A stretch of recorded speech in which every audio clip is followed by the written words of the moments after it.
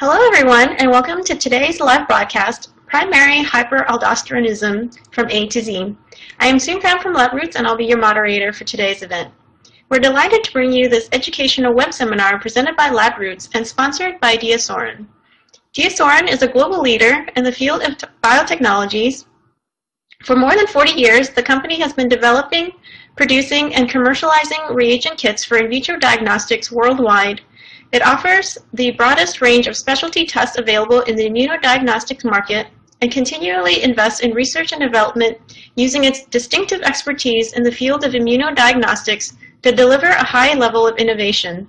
For more information, please visit diasorin.com. Before we start, there are a few instructions. We want to hear from you during this interactive broadcast, so please ask questions or leave us comments. Answers are also welcome.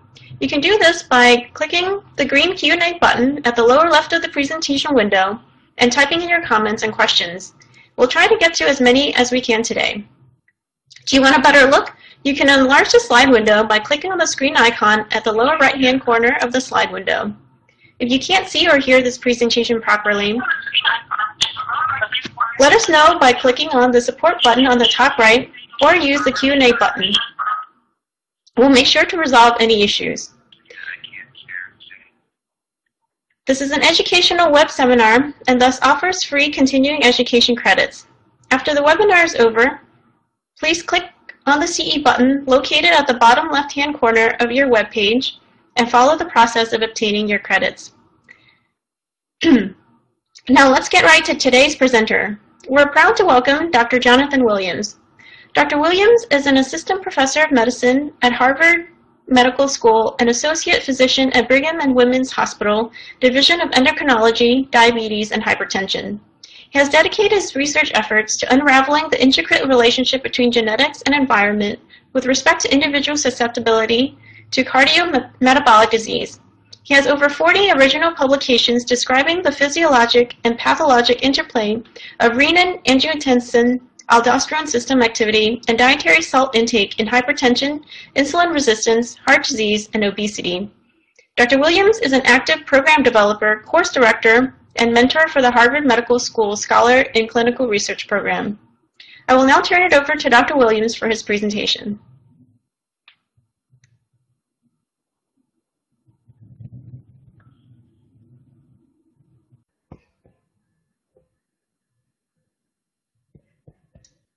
Hi, everybody. As Tracy mentioned, my name is Jonathan Williams, and I'm thankful for this opportunity to speak with you all about the topic of primary aldosteronism. I'm actually coming to you today from Salt Lake City, Utah. I've been driving across country, uh, taking my daughter's car out to college for her. So needless to say, I've had quite a bit of time to reflect on this topic the last three days. As mentioned, uh, DiaSorin is uh, providing the educational activity support for this presentation today, and I'm grateful to them and also to LabRoots for hosting the broadcast. So I'd like to start with a, a quick case. I understand that there are likely some primary care providers as well as laboratory managers on the, on the webinar today. So I'm going to try to make this applicable to everybody because this might be a story of you or somebody you know. Bob is a typical patient of mine. He's a 44-year-old male with a history of hypertension for the last three years. He was uh, initially treated with a blood pressure medication called amlodipine, 5 milligrams a day, which was escalated to 10 milligrams today um, over a two-month period. Since this failed to control his blood pressure, a second blood pressure medication was added, lisinopril, and it was increased over the following year. Unfortunately, despite these efforts, Bob's blood pressure remained uncontrolled, as you can see. And I think this is typical of what we see with hypertension uh, treatment. So this is the rest of Bob's story. He has a history of high cholesterol that was diagnosed in his late 30s. He takes a cholesterol lowering medication as well as a baby aspirin. He has what's called borderline type 2 diabetes or pre-diabetes. He's obese. He says that his wife states he snores a lot, but claims he does not hear this. um, suggestive of him having perhaps sleep apnea. He has a family history of high blood pressure. He's married, doesn't smoke, um, and he's gainfully employed. When we look at Bob's exam, we note that he's obese, that he has skin changes that are consistent with somebody who might have insulin resistance, which is darkening of the skin folds across the neck. He has a large neck, which we suspected might be the cause for his uh, snoring. And then we see his laboratory data. He has slightly diminished uh, renal function and a normal potassium. Interestingly, his electrocardiogram shows left ventricular hypertrophy. So would you be worried about Bob in this case? And there'd be a couple of things that I think would be a little bit atypical um, in this situation. Uh, the duration of his hypertension is actually short-lived. It's only a few years, at least as what we have recorded. And I think this is often the case in treating patients with hypertension. They might have uh, arrived at a diagnosis, but have had a pre-existing unknown history of hypertension for years. He has evidence of end organ damage and that he appears to already have damage of the kidneys and has uh, ventricular hypertrophy. So it again suggests that he's had long duration and out of control hypertension. And then you'll see he has kind of the typical um, aggregate of comorbidities which will elevate his risk. He has uh, insulin resistance, uh, prediabetes, um, and he has sleep apnea. So what do you do? Well, you try again. You add a, you throw a third blood pressure medication at Bob, um, chlorthalidone, which is a diuretic. And a month later, you see there's no effect. And at this point, Bob's asking you, do you even know what you're doing as his treating physician? So both patient and physician are becoming more frustrated. You get laboratory data, again, because you had placed him on a diuretic, and you note that his potassium has dropped to lower than the lower limit of uh, normal at 3.1. So now what do you do? Well, what we say clinically in training is that when you hear hoof beats in the forest, don't think of zebras, think of common things. And for the most part, common things in this case would just be run-of-the-mill essential hypertension. But since we know this is a talk on primary aldosteronism, actually what I'm showing here is that Bob likely has a condition called primary hyperaldosteronism. All right, first we're going to talk a little bit about hypertension in general. Um, so for the most part, we categorize this into two sections. Primary, or what's typically known as essential hypertension, represents about 90% of the hypertensive population. It is strongly heritable. There are a host of mechanisms responsible for it. And the treatment is just as described in this case. It's very nonspecific. And it's actually based on large studies with mean group effects. And I'll describe what, that, what I mean by that in a minute. It's basically treatment on an algorithm approach. And as you can see here, if one medication doesn't work, then you add a second one. And unfortunately, what we found out is that some of these blood pressure medications might even lower blood pressure, but antagonize another system, such as we've recently described that if you salt restrict some people, you can worsen their insulin resistance even if you lower their blood pressure. And as all treating physicians know, and as demonstrated in this case, compliance with treatment regimens is very poor. If you look at a population drug effect, I think this is a nice way to, to, to kind of view it. You see the frequency of a population response on the y-axis, and then you see the actual response in this situation would be a change in blood pressure or perhaps even the net health benefit listed here. And you can see the mean effect would be in the positive for the population on whole, but there can be negative consequences to portions of the population. This is what's frustrating, and it's basically what I spend my life doing in research, is trying to figure out how people develop high blood pressure and how to better treat specifically those individuals. So I mentioned primary hypertension. The other form of hypertension grossly described is secondary hypertension. And it represents about 10% of the hypertensive population. We say secondary because we feel that we understand or can identify the mechanism responsible. Therefore, the treatment is actually fairly specific. For example, hypertension that's caused by narrowing of the renal arteries or renal artery stenosis is obvious to fix. There are hormonal mechanisms such as Cushing's disease, pheochromocytoma, or aldosteronism, the topic of today. There are medications such as Sudafed, which will raise blood pressure. So you can see these are easy to identify singular mechanism of hypertension and when and can be for the most part, equally easily treated. So the goal overall in the hypertension treatment world is to transform more primary or unknown mechanistic hypertension into a secondary form of hypertension that we can narrowly treat. So if you look back at our graph here, where we see the population effect, you could superimpose on this primary aldosteronism.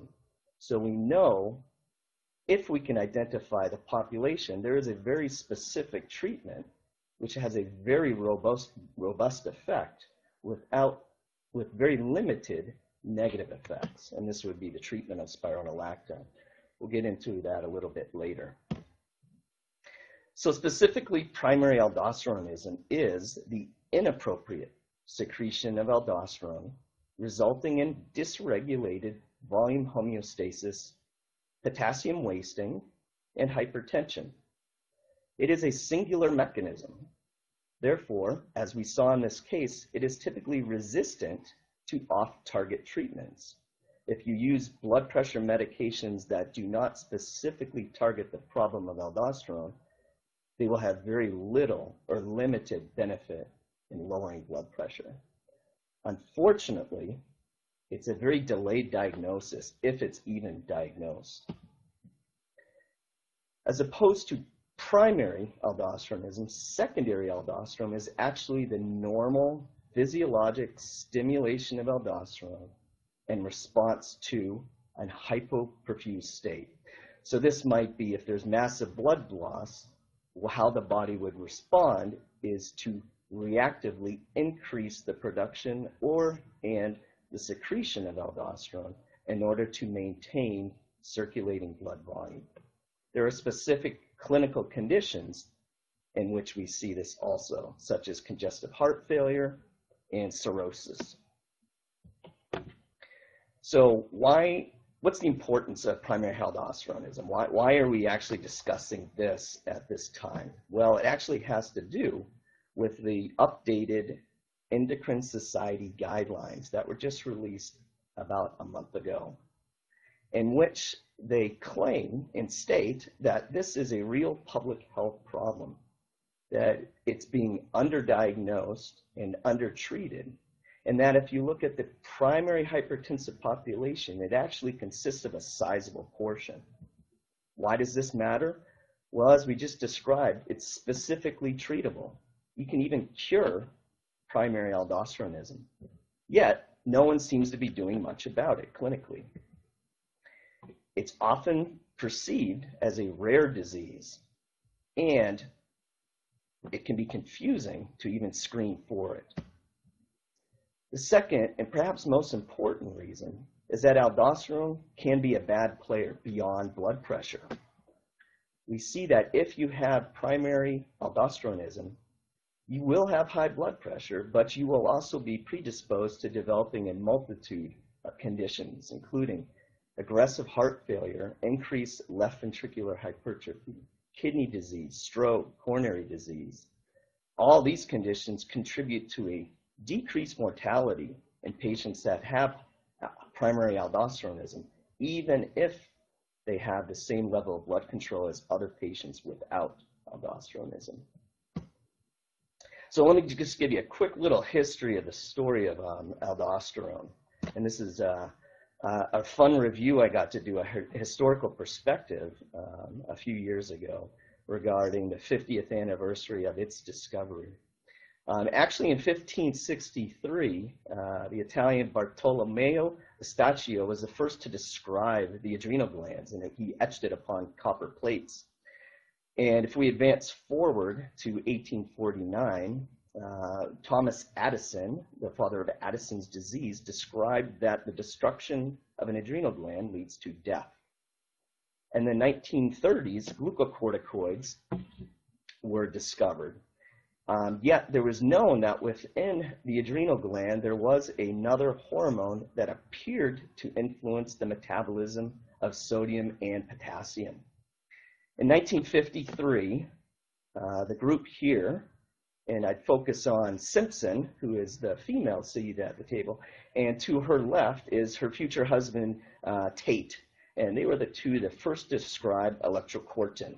And they actually did so by uh, synthesizing, uh, uh, sorry about that, um, actually taking uh, over a, a, ton, almost a ton of beef adrenal glands and to identify 21 milligrams of electrocortin, which is later described as uh, aldosterone.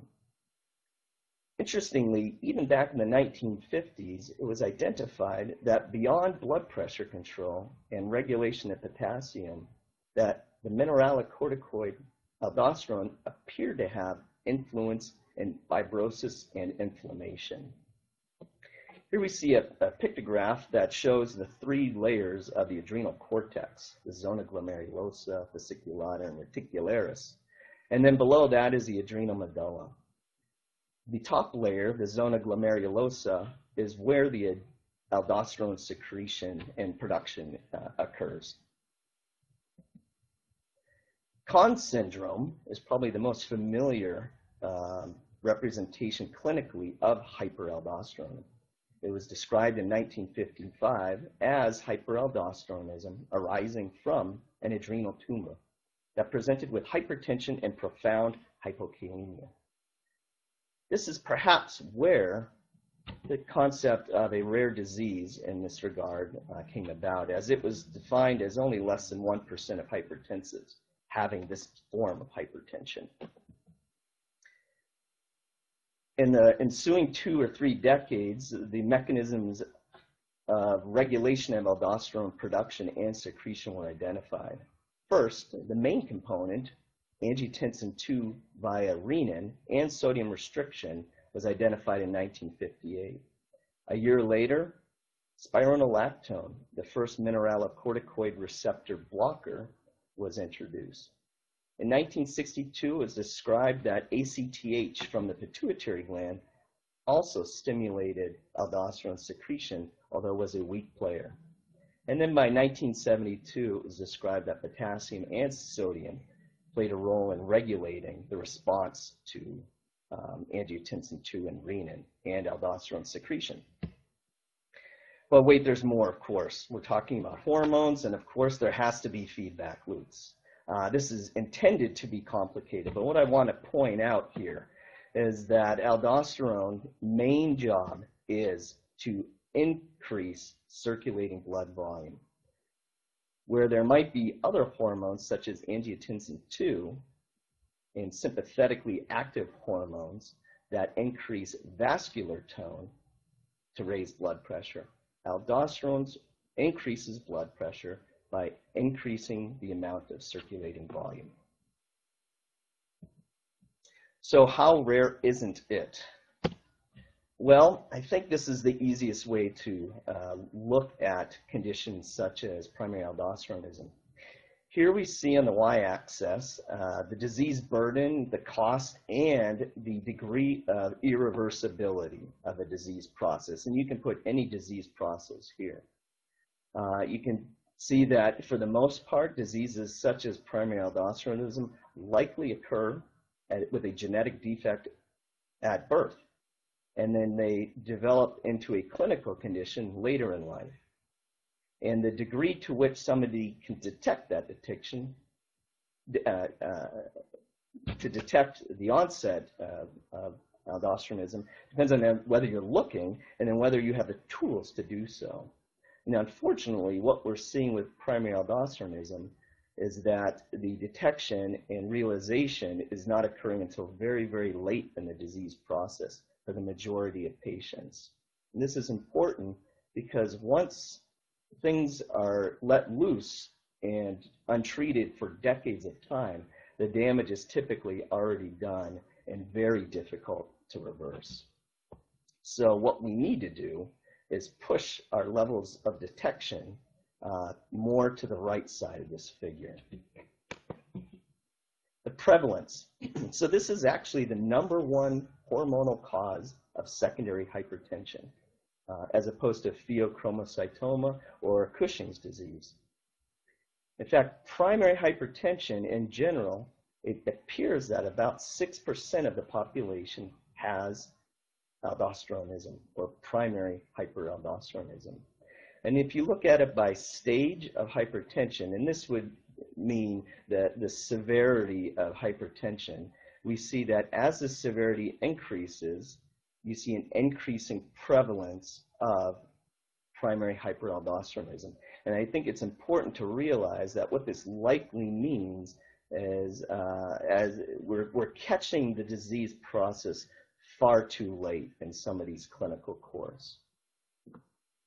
If you look at the most severe forms of hypertension, such as resistant hypertension, which we typically define um, as we saw in this clinical case of Bob, uh, a blood pressure that's sustained above 140 over 90 millimeters of mercury, despite the use of three antihypertensives, including a diuretic, or the use of four antihypertensives. And if you look specifically within this population, the prevalence of primary aldosteronism is 17 to 23 percent. This is a strikingly uh, troublesome figure in that it means most likely that primary aldosteronism has gone undetected for many, many years up to this point. Finally, um, an interesting study came out a few years ago in which patients who had obstructive sleep apnea and new onset hypertension, about a third of them were found to have primary aldosteronism. And I mention this specifically for an upcoming reason. So there are several forms of primary aldosteronism. It actually represents a group of disorders. The largest by far is what we termed for now sporadic primary aldosteronism. And there are essentially three flavors. The first and the second rep represent half of the population each.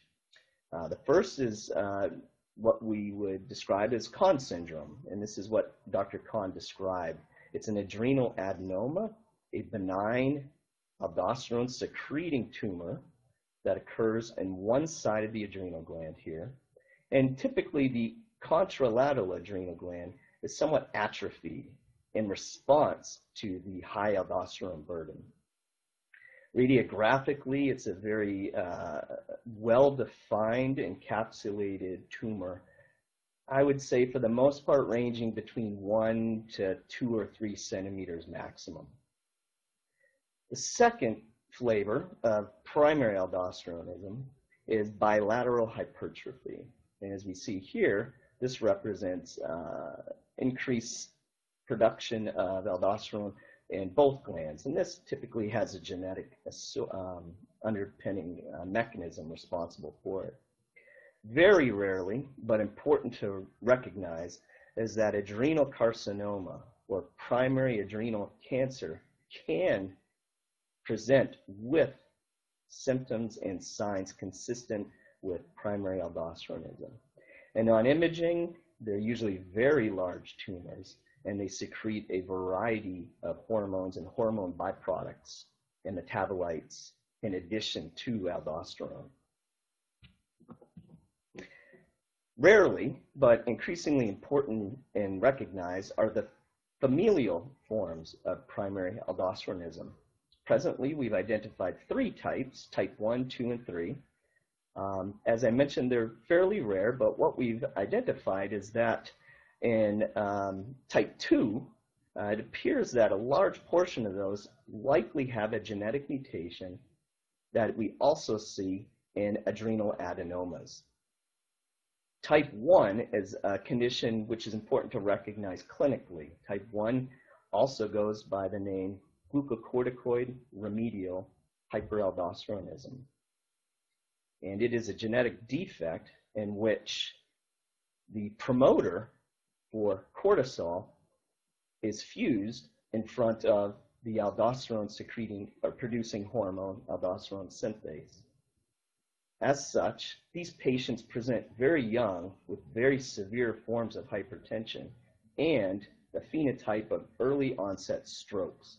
So clinically, if you have a patient who's of young age, between late teens and early 20s, who has a family history of strokes at a young age and presents with hypertension and low potassium, it's important to realize that, that screening for this form of aldosteronism uh, should be undertaken. So what is the screening process for uh, primary aldosteronism? Well, most people say, I know it when I see it. And they typically describe these telltale signs of patients with primary aldosteronism. These patients, it is considered, are often young, but in reality, this is rarely the case. It's often a very loud presentation of severe hypertension, and again, this is very rarely the case, and that they present with hypertension and hypokalemia, or low potassium. Again, in the majority of patients who have primary aldosteronism, they actually do not present with low potassium levels. As such, as I mentioned, the Endocrine Society updated their screening guidelines for primary care providers for primary aldosteronism. And these are the six points they made for case detection. First, if somebody has a sustained blood pressure of 150 over 100 millimeters of mercury, despite the use of these medications, they should be screened for primary aldosteronism. In addition, classic findings of hypertension with hypokalemia should be screened. Hypertension with an adrenal nodule, or otherwise known as an adrenal incidentaloma. About 2% of these end up having primary aldosteronism, which should be screened as such. As I mentioned in this most recent study, patients who have hypertension and obstructive sleep apnea have a very high likelihood of having primary aldosteronism. As I mentioned before, if there's a family history of young stroke victims and hypertension, they should be screened for primary aldosteronism.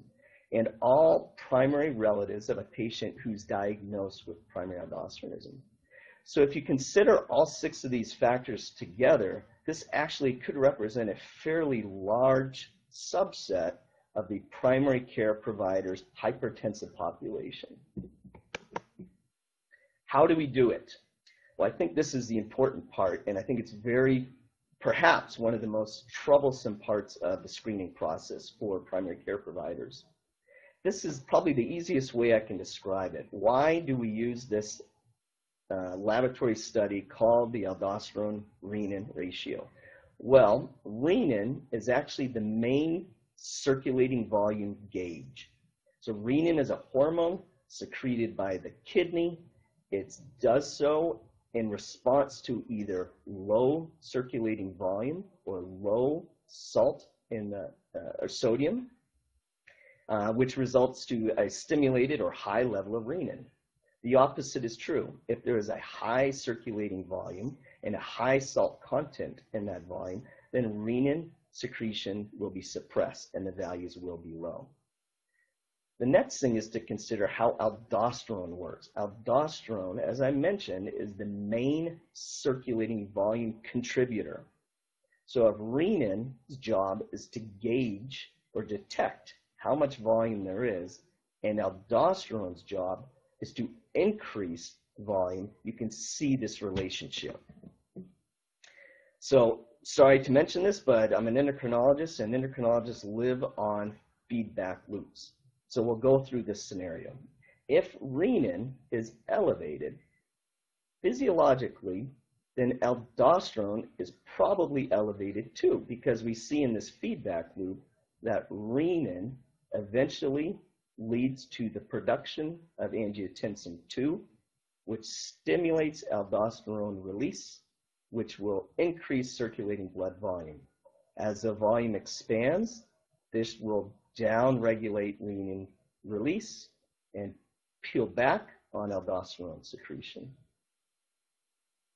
If aldosterone is autonomous, which is what we would see in primary aldosteronism, then you could see the feedback loop will be impaired. Aldosterone release will go up autonomously, the circulating blood volume will expand, and renin will be suppressed and should be suppressed essentially down to zero as the volume continues to expand. So if we look at the ratio, we would typically see an elevated aldosterone and a very low renin. And it's probably easiest to integrate this into a ratio such that high ratios, high aldosterone or low renin, would provide evidence of an inappropriate aldosterone secretion. So that being said, you have to realize the power of the denominator. For example, let's say we had an aldosterone level drawn on a patient which in, resulted in 5 nanograms per deciliter. This would actually be considered a fairly normal level of aldosterone for most westernized diets.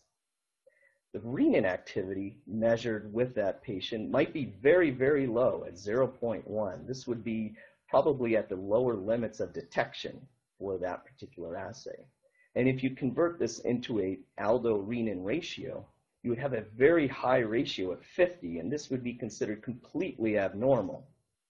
Most ratios fall less than 20.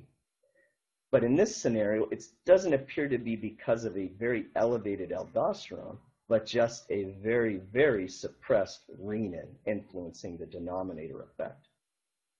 So for this reason, most experts advocate that in addition to an absolute, that in addition to an elevated aldosterone renin ratio, you should also have an absolute cutoff for aldosterone in the upper range. The assays. So this is the next most important part of um, determining how to uh, interpret aldo-renin ratios. For the most part, there are two general approaches to measuring renin. Uh, the classic approach would be plasma renin activity. Renin is an enzyme whose job it is to cleave angiotensin 1. It, sorry, renin's job is to cleave angiotensinogen in order to form angiotensin 1.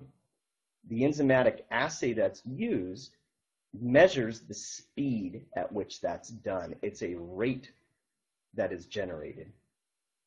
It's uh, unfortunately it's a very cumbersome assay and it's it's expensive uh, to perform. It takes a lot of technical time, um, and it's actually sensitive to poor sample handling, such that if if the, the, samples are frozen at the wrong time, this can influence the activity of renin and give false results. Um, it's a fairly reproducible assay, but it's very not as sensitive at lower levels, and unfortunately as I mentioned before, one of the main influences of renin activity is how much salt is in the diet. And if there's a high salt diet, which is typical of most westernized diets, then renin levels are generally suppressed. And this can be a problem when creating a ratio, as I already mentioned.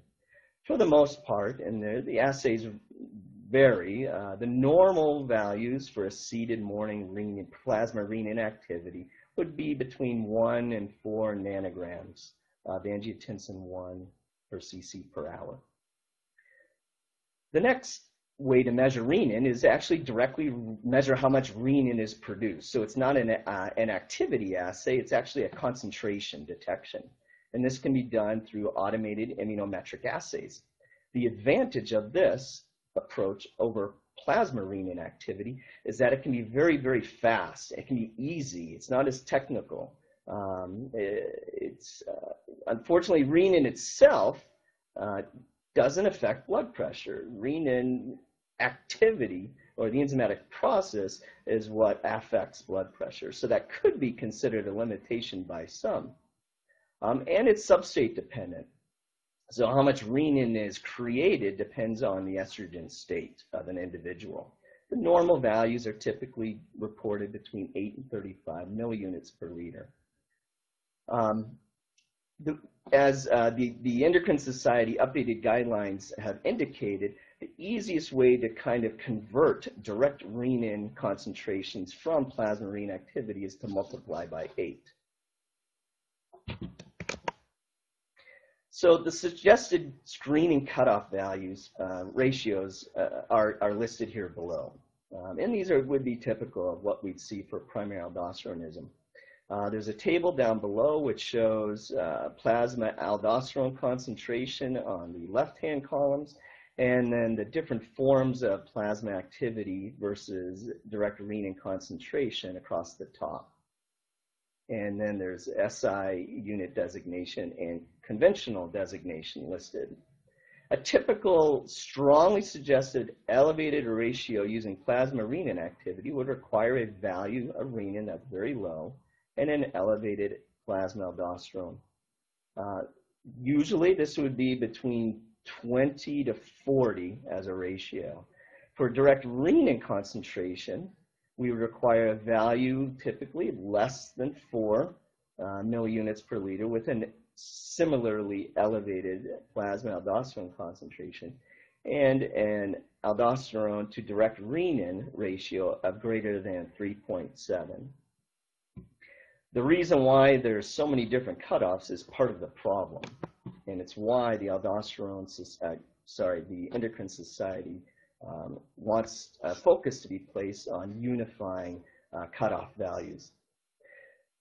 The next most common obstacle in deciding whether to obtain an aldosterone-renin ratio is that all the antihypertensive medications, or a majority of them that are used, can influence renin and aldosterone. For example, uh, diuretic hormone, di sorry, diuretic blood pressure medications actually raise renin. They create a diuresis or a dehydration effect, which lowers blood volume, and as we mentioned before, this stimulates renin. Beta blockers actually suppress renin secretion through sympathetic stimulation. Mineralocorticoid receptor drugs, such as spironolactone, block the mineralocorticoid receptor. This antagonizes aldosterone secretion and levels are very, very high. ACE inhibitors and ARBs can do all of the above. Next, optimizing conditions. it's important that when you're testing for aldosterone renin ratios in a screening process, that you make sure your serum potassium is as close to normal as possible. If somebody has a low potassium, then you should try to correct that before you measure the aldosterone renin ratio. If they're on a diuretic, you should discontinue it for the reasons I just mentioned. If you're on a mineralocorticoid receptor agent such as spironolactone, it too should be discontinued. To enhance the aldosterone renin ratio effect, it should be encouraged some moderate increase in salt intake. And then importantly, these hormonal assays should be drawn um, in the morning after two hours in an upright or seated position. The points to consider, and these, for the most part, are minor in my, in my view. Premenopausal women have higher aldosterone renin ratios. This has more to do with estrogen release and in the luteal phase. So this can affect direct renin assays. Renin, in general, decreases with age. We're not sure why this occurs, but above the age of 65 years, renins decrease. Chronic kidney disease can, be, can influence the aldosterone-renin ratio. If renin is being produced by the kidney, yet the kidney itself is damaged, you can quickly see how that's going to impair the interpretation of a ratio and should be referred to a specialist. However, all this being said, what the Endocrine Society update is calling for is to simplify the screening process in order to enhance case detection. It is clear that not enough case detection is going on right now if we're seeing that upwards of 20% of the hypertensive population has primary aldosteronism. As such, they are calling for establishing universal assay standards for both aldosterone and renin, whether it be renin activity or renin concentrations, and to facilitate point of care capacity. So this is where it appears that direct renin measurements are going to be favored. And um, as we move towards automizing, uh, automating and facilitating uh, aldo-renin ratio measurements. Uh, direct renin concentrations may have some very minor limitations, but in the setting of wanting to increase a screening assay's use, uh, those should really not be an issue. Um, as I mentioned before, don't be as concerned with the various antihypertensive medications that a patient might be taking or their possible influence on uh, the aldosterone-renin ratio. It would be better to obtain the aldosterone-renin ratio and then refer the result to a specialist for interpretation. Now, the exceptions would be to make sure that hydrochlorothiazide, chlorothalidone, other diuretic medications be tapered off beforehand, if possible. Finally, referral to, to, uh, uh, to a specialist would be required at this point for confirmation. So as with any screening test, the, the, it is just meant to enhance the ability to, to, to identify a possible case. The confirmation is required. And very quickly, how we do that is we establish that aldosterone is actually being autonomously secreted. Easiest way to do this is to salt load somebody or volume load. As I mentioned in the feedback circle, if a high volume or a high salt uh, diet is introduced into a patient, the normal response should be to decrease aldosterone secretion. As such, if you load somebody with salt and they still have an elevated aldosterone, that is confirming that they have autonomous secretion or primary aldosteronism.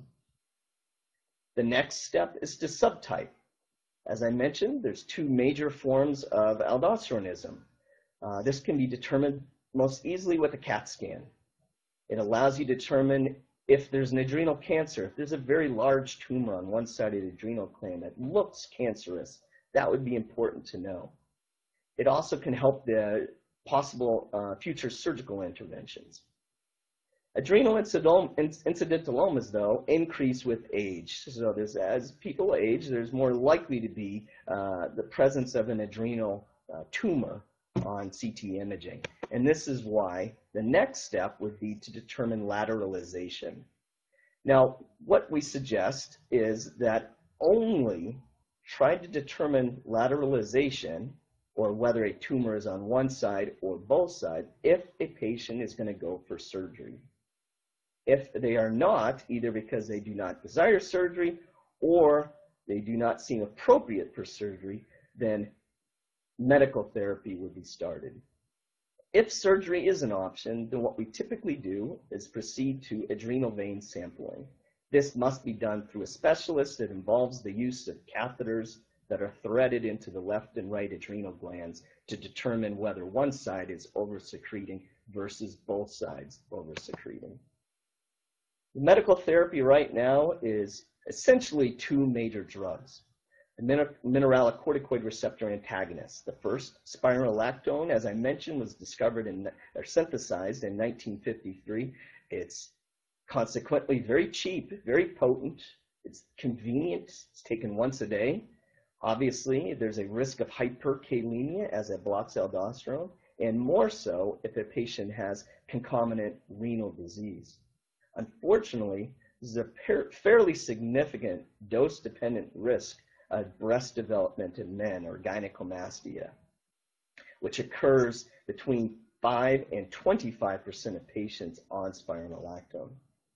A newer agent, eplerenone, uh, was developed about 10 to 15 years ago. It's uh, consequently more specific um, in that it does not have the uh, risk of gynecomastia, but it is also not as potent and it costs considerably more money to prescribe. Surgery versus medical therapy. There's been a lot of back and forth about whether a surgical option is better than just placing somebody on medical therapy. Uh, there are no real good solid studies um, comparing the two. But in general, it's felt that surgery might be more cost effective, especially in the young patients. Um, so in those patients, surgery appears to be pre preferred. Um, unfortunately, you need to have a very experienced laparoscopic surgeon who knows how to do this type of surgery in order for its benefit to be gained. And you have to be able to trust the lateralization data given by the adrenal vein sampling results. The effective treatments, whether they're surgery or medical, are these. Uh, blood pressure improves with surgery up to one year after surgery. Uh, there is always, and, or excuse me, there's typically the need for continued additional blood pressure medication. Um, medical therapy, spironolactone at very low doses lowers blood pressure by about a quarter in most patients. This equates to losing about a half a blood pressure medication in that population. However, the effects beyond blood pressure are what's important. There is improved cardiovascular risk, improved progression to chronic kidney disease and strokes, and mortality outcomes are improved with blockade or removal of aldosterone.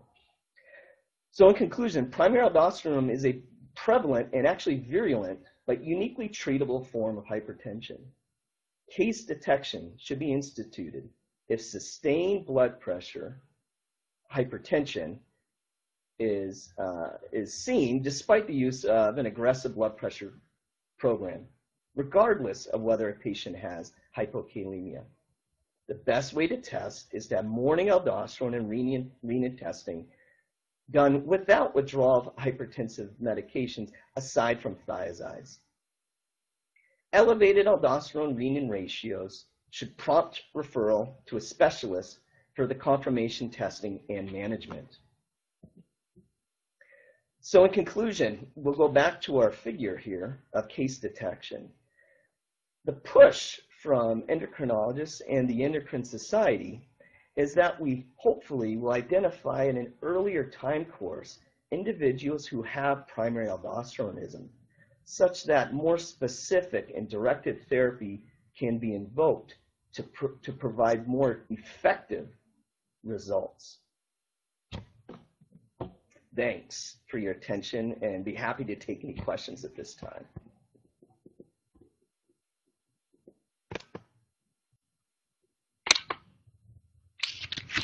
That was an excellent presentation, Dr. Williams. Thank you for bringing that information to us. It was terrific. Uh, before we get started with all of your questions, here's a quick reminder about how to reach us today. So questions can be sent via the green Q&A button at the lower left of the presentation window. Just type in your questions, hit send, and we'll try to get to as many questions as we can today. So our first question for Dr. Williams is, is there a preference of measurement of plasma renin activity or direct renin?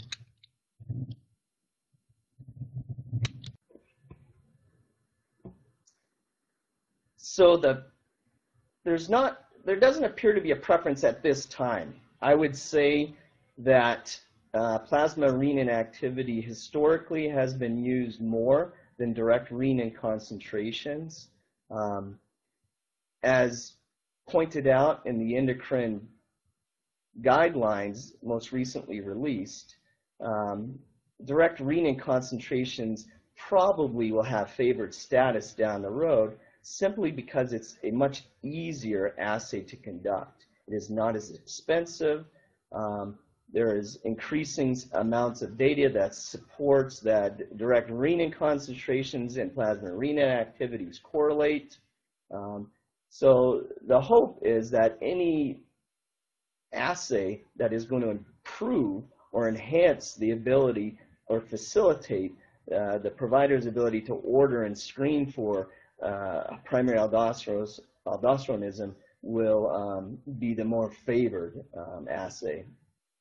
There's certainly, uh, in, uh, in, academic circles, I would say, there's um, back and forth regarding the, the uh, advantages of one assay over the other, but I would fall back to the Endocrine Society's recommendation that we do what we can to enhance and improve facilitate the screening process.